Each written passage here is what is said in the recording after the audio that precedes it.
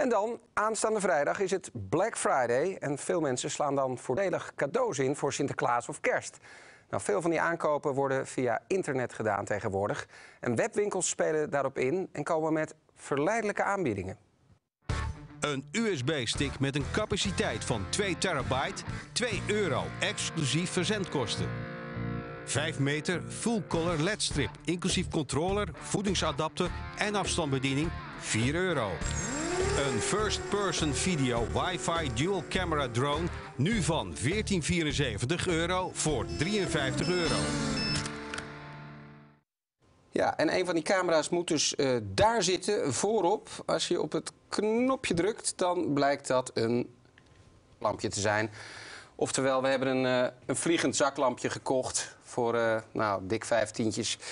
En niet wat we hadden gedacht dat we zouden kopen. Gijs van der Linden is er van het landelijk meldpunt internetoplichting. Ja, uh, we zijn uh, erin getuind, hè? Ja, overduidelijk bedrogen. Ja.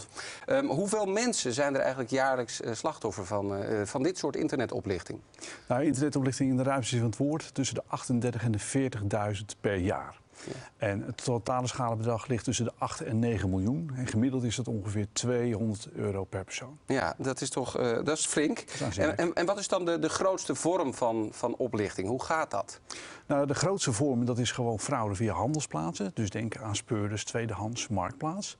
Maar vooral in deze periode zien we veel fraude voorbij komen met betrekking tot malafide webwinkels. Ja, en, en hoe doen ze dat, die malafide webwinkels? Wat zijn de trucs? Ja, daar hebben we een aantal soorten in. Uh, een van de soorten is bijvoorbeeld de website die al in het najaar is opgericht met als doel om in december zoveel mogelijk slachtoffers te maken. Heel lastig te onderkennen.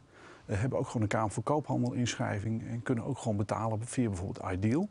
Uh, maar een andere groep die we hebben, dat zijn ook uh, de webwinkels die uh, veelal vanuit China zijn opgericht en gebruik maken van een Nederlandse vrijgekomen domeinnaam.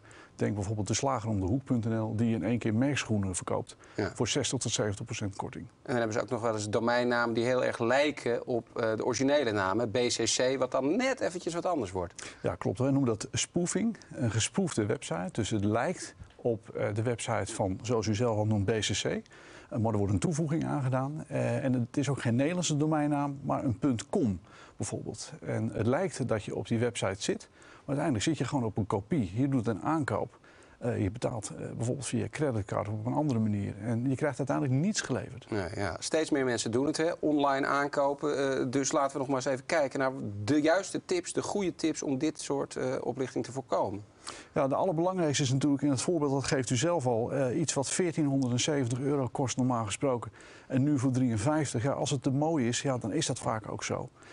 Wat ook van belang is, van, weet bij wie je koopt. Uh, kijk bijvoorbeeld uh, op reviews op internet, hè, of er al negatieve geluiden zijn over zo'n webwinkel. En kijk ook of je achteraf kunt betalen. Dat je, uh, nadat je het bezorgd hebt gekregen, dat je een betaling kunt doen. En maak in ieder geval gebruik van je creditcard. Op het moment dat je betaalt met je creditcard kun je daarna een klacht indienen bij je creditcardorganisatie. En dan krijg je gewoon je geld terug. Ja. Die tips, kunnen we die nog ergens terugzien? Ja, die staan op politie.nl. En daar heb je ook check de verkoper.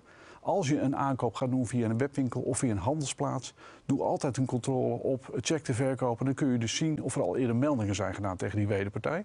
En je kunt controleren op rekeningnummer, telefoonnummer, e-mailadres, maar ook op de URL van het webwinkel. Goed. Wij zijn gewaarschuwd. Gijs van der Linden, uh, vriendelijk dank. En tuin je er toch in, doe altijd aangifte. Dat is de laatste tip van de politie.